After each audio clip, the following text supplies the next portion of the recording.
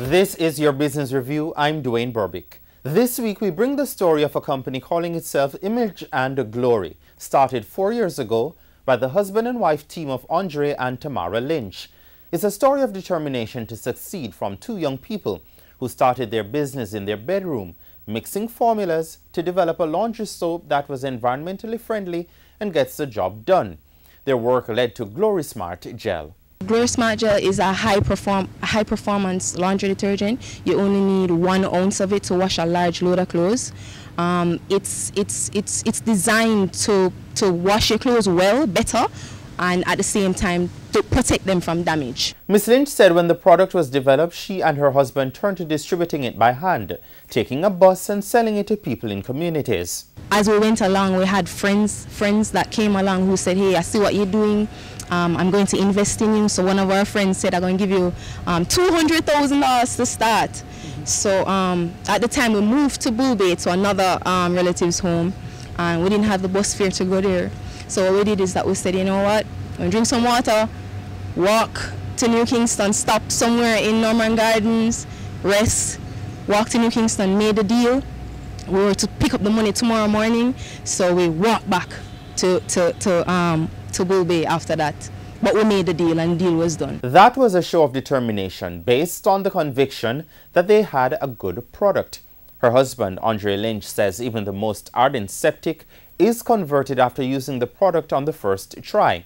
And he proved that just recently.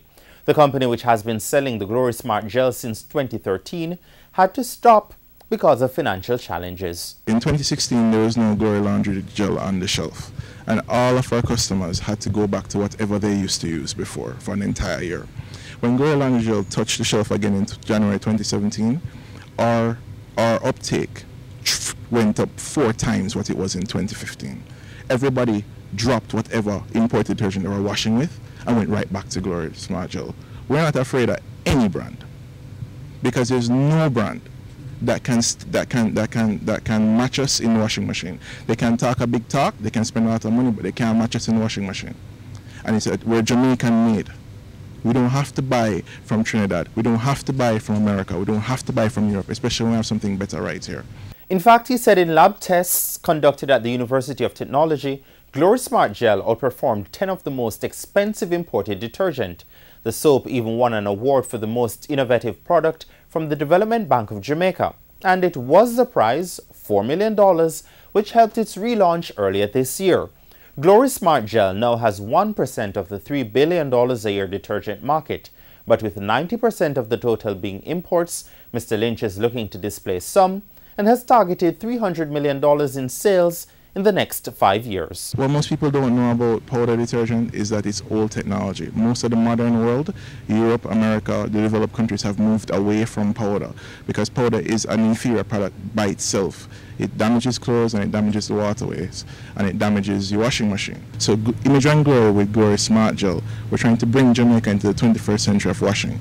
So you don't have to wash anymore with bleach and caustic soda and, and cow fat and, and, and you can wash now with a modern natural, environmentally friendly detergent that will protect the garments as well as clean better than any powder you can buy on the market. But getting to where he wants to reach takes capital.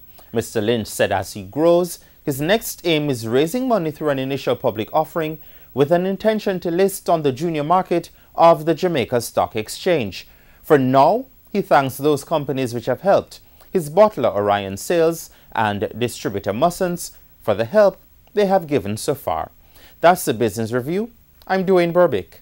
Good evening.